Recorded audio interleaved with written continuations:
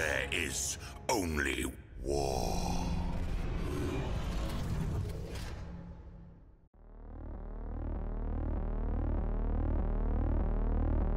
The Macharian Crusade, one of the most storied military campaigns in the imperial history, began on the world of Macharia, which would later become a sacred shrine world of the Adeptus Ministorum. It was here that Lord Solar Macharius rallied his immense forces, boarding the transports waiting in orbit above the planet, ready to plunge into the unknown. The Crusade ventured beyond even the reaches of the Emperor's Astronomicon, exploring the dark corners of the galaxy to the very edge of the galactic rim. Many of the worlds they encountered had once been part of the Imperium but had fallen into isolation during the Age of Apostasy in the 36th millennia. These lost human colonies were just the beginning, as Macharius sought to reclaim lost territories, rebuilding the Imperium's shattered influence and bringing both light and dominion to the farthest reaches of the galaxy. The Crusades' first significant challenge came in the Karsk system, where they faced the wild cult of the Angel of Fire. The cult, which held sway over the system, was revealed to be a front for the worship of Chaos God Tzeentch. In a battle that tested not only his military genius but also his very soul, Macharius, wounded and vulnerable, confronted the so-called Angel of Fire, a fearsome Lord of Change, greater demon of Tzeentch. The demon offered him power, but Macharius, resolute in his fate, rejected chaos and stood unwavering in the Emperor's light, a testament to his iron will. As the crusade pressed on, it became a grinding march across the furthest western reaches of the Segmentum Pacificus and into the chaotic region of the Halo Stars. Macharius and his forces encountered countless alien species and long-lost human civilizations, each bringing their own challenges to the ever-expanding front of the crusade.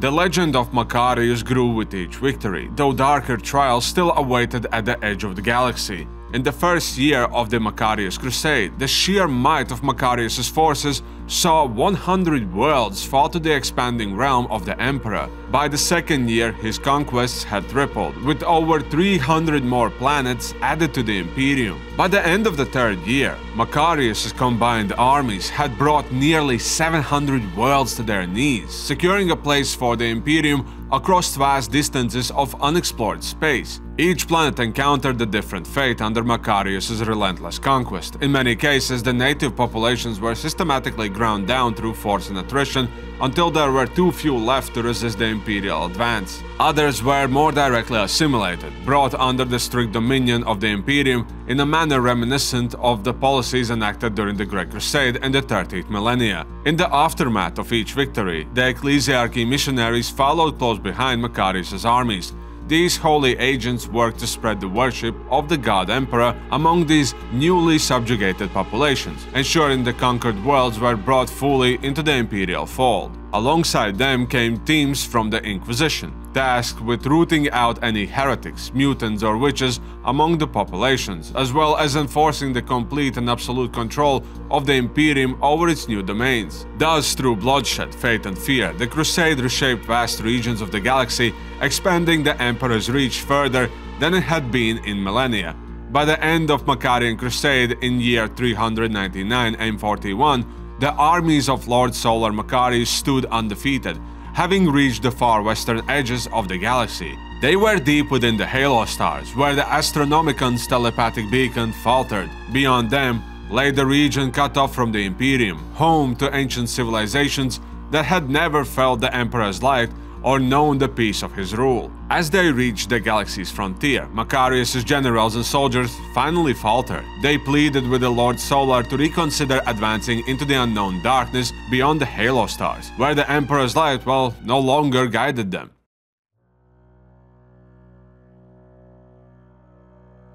The Astronomicon's beacon could no longer offer protection, and the journey into the Immaterium would become dangerous. Navigators would struggle to steer the fleet through the unpredictable warp currents, and the astropaths would be cut off from the communication with the Imperial space. Moreover, Macharius' troops were weary. Years of relentless, brutal warfare across hundreds of worlds had left them drained, their morale dwindling. Many had grown fearful of the eerie and unsettling unknown. Scout teams sent into the Halo stars had vanished without a trace, while those who returned spoke of strange phenomenon. Haunted stars and entire planets inhabited by what could only be described as ghosts and spirits. Faced with the refusal of his commanders and troops to advance beyond the Emperor's light, Lord Solar Macharius erupted in fury. He denounced his soldiers and generals as traitors and cowards before retreating to his room, where he drowned his frustration in some quality alcohol. When he finally re-emerged, clear-headed once more, Macharius commanded his fleet to return to the Imperial space. His guardsmen cheered, hailing him as a hero and living saint of the Imperium, while his generals could finally get rid of the stress. Yet behind the triumphant facade, Macharius was a broken man. His dreams of limitless conquest in the name of the Emperor had been dashed by the frailty and fear of his subordinates, weakness he neither shared nor understood.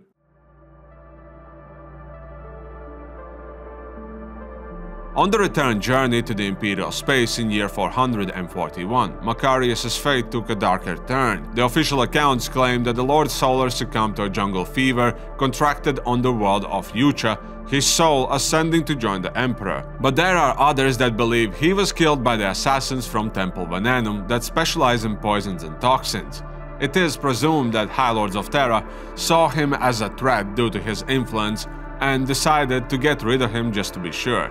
Some whispered that he chose to die, longing to rest alongside the Imperium's ancient heroes who would not have faltered in the face of danger as his troops had. However, hidden documents uncovered during Macharius' canonization as a saint of the Imperial cult tell a more sinister story. In truth, Macharius had been afflicted with Nurgle-like plagues during the siege of the world of Loki, leaving him only weeks, perhaps days, to live. In a desperate final act, he launched an assault against Richter, a former general of his who had fallen to chaos. Macharius succeeded in killing Richter, but shortly after, he was struck down by a hidden cultist alongside Inquisitor Drake.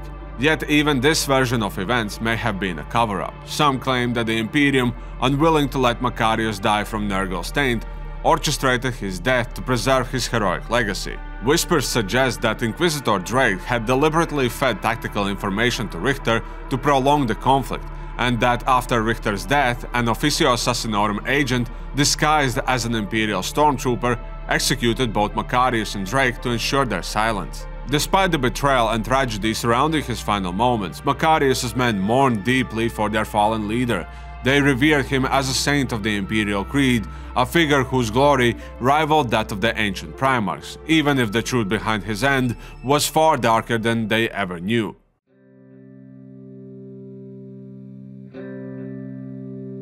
One notable conflict that I think is essential to giving soul to this whole campaign of the Macharius Crusade was when General Brogan Crassus led a grueling assault against advanced independent human civilization of Adrantis V. The planet, known for its highly developed technology, managed to hold off Macharius' forces for nearly two standard years, General Crassus's Fifth Army group bore the brunt of the conflict, losing 90% of its combat strength in the relentless war of attrition. Despite Crassus's best efforts, Adrantis V's advanced defenses proved too formidable to overcome through conventional means. In a desperate move to break the stalemate, Lord Solar Macharius ordered the comet to be directed at the planet, unleashing a weapon of mass destruction. The impact devastated Adrantis V, wiping out much of its population and shattering its defenses. The remaining survivors, overwhelmed by the catastrophic destruction, were forced to surrender and accept imperial rule. This brutal tactic ensured Macharius' conquest of Adrantis V, but it came at a heavy cost in both lives and destruction but also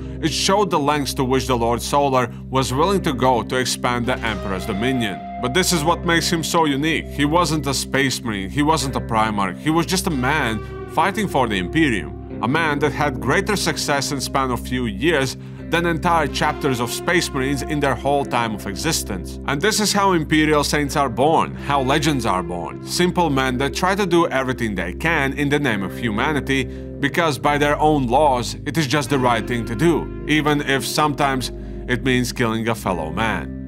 But what do you think of this conflict and this general flinging comets at planets? Let me know in the comments below. If you enjoyed the video, then leave a like and subscribe to my channel so you don't miss my daily upload. Become a member for just $1 to cast your vote for the weekly content and join my Patreon for just $2 a month to get access to some of the most amazing, high-definition, never seen before Warhammer 40,000 artworks which you can download and use as you want. Every month we post something new there, so I promise you'll get the bang for your buck and more. Remember to join the Discord to show your memes, and with that in mind, I'll see you next time. Nerd!